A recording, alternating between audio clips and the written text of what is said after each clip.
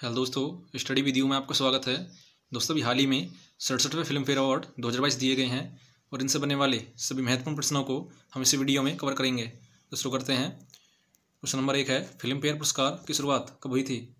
Film fair पुरस्कार की शुरुआत हुई थी उन्नीस सौ चौवन में। क्वेश्चन नंबर दो है, दो हज़ार बाईस में कौन से फ़िल्म फेयर पुरस्कार दिए गए हैं? ये दिए गए हैं option D, सड़सठवें।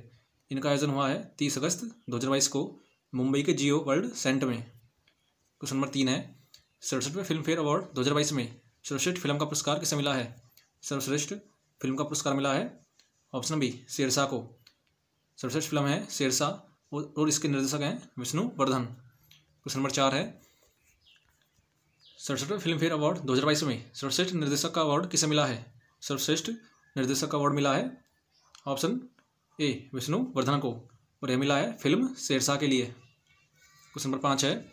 सड़सठवें film fair award में सर्वश्रेष्ठ अभिनेता का अवार्ड किसे मिला है? सर्वश्रेष्ठ अभिनेता का अवार्ड मिला है रणवीर सिंह को।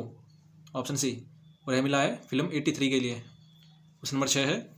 सड़सठवें फ़िल्म फेयर अवार्ड में सर्वश्रेष्ठ अभिनेत्री का अवार्ड किसे मिला है? सर्वश्रेष्ठ अभिनेत्री का अवार्ड मिला है कृति सेनन को। और यह मिला इन्हें फ़िल्म मीमी के लिए। क्वेश्चन नंबर सात है। सर्वश्रेष्ठ सहायक अभिनेता का अवार्ड किसे मिला है? सर्वश्रेष्ठ सहायक अभिनेता का अवार्ड मिला है पंकज त्रिपाठी को। और यह मिला इन्हें फ़िल्म मिमी के लिए। नेक्स्ट है, सर्वश्रेष्ठ सहायक अभिनेत्री का अवार्ड किसे दिया गया है? सर्वश्रेष्ठ सहायक अभिनेत्री का अवार्ड दिया गया है साई तम हानकर को। यह मिला इन्हें फ़िल्म मीमी के लिए।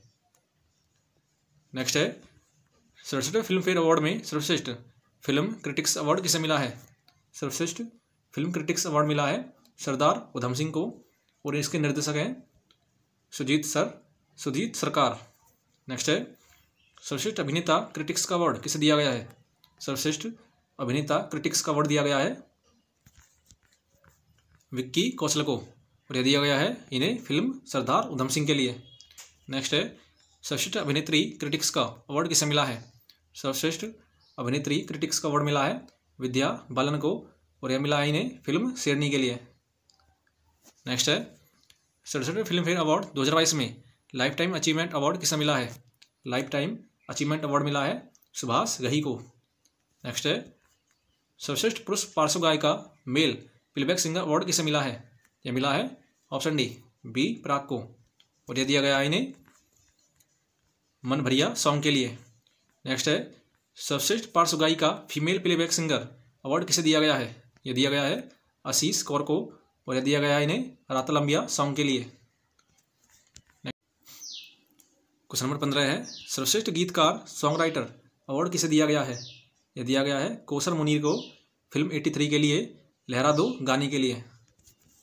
दोस्तों, आज के लिए इतना ही। वीडियो कैसी लगी, कमेंट बॉक्स में ज़रूर बताएँ और ऐसी वीडियो देखने के लिए चैनल को सब्सक्राइब ज़रूर करें। धन्यवाद।